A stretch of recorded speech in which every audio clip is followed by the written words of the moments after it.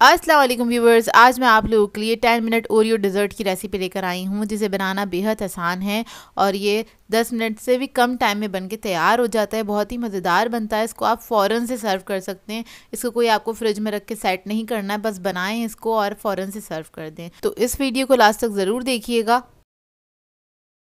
अगर आप मेरे चैनल पर नए हैं तो मेरे चैनल को सब्सक्राइब करें साथ साथ ऑल नोटिफिकेशन को क्लिक करें। इससे आने वाली मेरी हर नई वीडियो की नोटिफिकेशन आपको सबसे पहले मिलेगी। वीडियो अच्छी लगे तो लाइक एंड शेयर करना ना भूलें।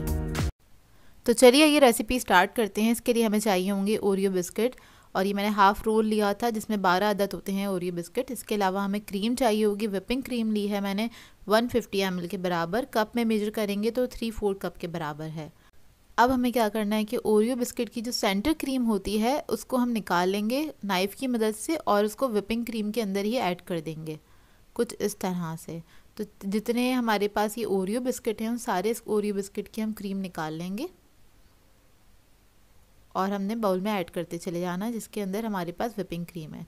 तो ये क्रीम मैंने अलग कर लिया। अब इसको हम क्या करेंगे? एक जिप लॉक बैग में ऐड करेंगे और इसको हमने हैमर की मदद से चूरा कर लेना है। आप लोग चाहें तो किसी चॉपर में डाल के भी इसको पीस सकते हैं। बिल्कुल बारीक पाउडर बनाना है हमें। अब इसको निकाल लेंगे। ये पाउडर बन गया है। ये देखिए, कुछ इस तरह से हो जाएगा। इसके बाद ये वाली जो क्रीम है, इसको हम विप्ट कर लेंगे अच्छी तरीके से। एक से दो मिनट तक। देखिए विप्ट हो गई है अच्छी तरीके से। अच्छा मेरे पास जो विपिंग क्रीम है, वो मीठी है ऑलरेडी पहले से, इसलिए मैंने इसके अंदर कोई शुगर ऐड नहीं करी है। अगर आपके पास जो विपिंग क्रीम है, वो मीठी नहीं है तो आप लोग ऐड कर सकते हैं। इसके अलावा हमें चाहिए होगी चॉकलेट तो ये कुकिंग चॉकलेट है 50 ग्राम इसको मैंने मेल्ट कर लिया था।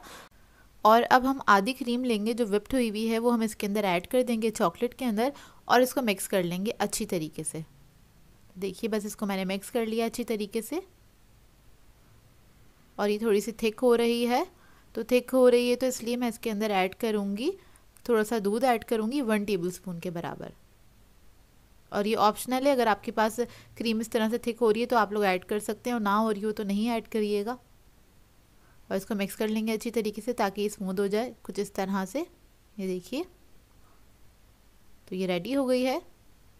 अब मैं इस डिज़र्ट को सर्व करने के लिए मैंने ग्लासेस लिए हैं। आप लोग चाहें तो कोई बड़े बॉल के अंदर भी इसको सेट कर सकते हैं। मैं इधर ग्लासेस के अंदर इसको सेट कर रही हूँ। तो सबसे पहले हम चॉकलेट का जो हमने मिक्सचर बनाया था, वो हम इसके अंदर ऐड कर देंगे बेस में। और इसको हल्के से आप फैला लें। इसके बाद ओरियो बिस्किट जो है, उसकी एक अच्छी लेयर लगा देंगे इसके ऊपर। स्पून की मदद से और इसको फैला के आपने लेबल कर देना है। तो देखिए, बस मैं बिस्किट्स को सेट कर रही हूँ। अच्छा इधर मैं बना रही हूँ सिर्फ़ दो सर्विंग और अगर आप लोग ज़्यादा बनाना चाहते हैं तो आप इसी क्वांटिटी को डबल कर लीजिएगा तो आपकी वो ज़्यादा बन के तैयार हो जाएगा डिज़र्ट या फिर आप किसी बड़े बाउल में सेट करना चाहते हैं तो आप इसको डबल, ट्रिपल कर सकते हैं अपनी मर्ज़ी के मुताबिक। तो देखिए, इसको मैंने सेट कर लिया। अब जो बाकी की क्रीम थी, उसको मैंने एक पाइपिंग बैग में ऐड कर दिया था। नॉर्मल स्टार नोज़ल लगा दिया है इसके अंदर और इस तरह से मैं इसके ऊपर पाइप कर दूँगी। ये देखिए, इस तरह से एक और लेयर लगा देंगे और इसको पूरे को हम कवर कर लेंगे। ये देखिए। और अब लास्ट के अंदर हमने एक ड्रॉप लगाना है सेंटर में और ओरियो बिस्किट ले लेंगे उसको मैंने हाफ़ कट करके रखा हुआ था, वो इसके ऊपर लगा देंगे। इसके बाद थोड़ा सा ओरियो बिस्किट का जो चूरा था वन टीस्पून बचाया था बस मैंने लास्ट में, वो इसके ऊपर ऐड कर देंगे, हल्का सा स्प्रिंकल कर देंगे। तो ये देखिए, हमारा मज़ेदार सा डिज़र्ट रेडी है और इसको ठंडा करने की ज़रूरत नहीं है। आप इसको फ़ौरन से सर्व कर सकते हैं। अगर आपकी मर्ज़ी, अगर आप चाहते हैं तो इसको रख सकते हैं फ्रिज में थोड़ी देर के लिए, लेकिन इसको आप, ये इतना सेट हुआ हुआ होता है, आपको इसको रखने की ज़रूरत नहीं पड़ेगी। फ्रिज में आप इसको फ़ौरन से सर्व कर सकते हैं और इन्जॉय कर सकते हैं। ये दस मिनट के अंदर बन के तैयार हो जाता है।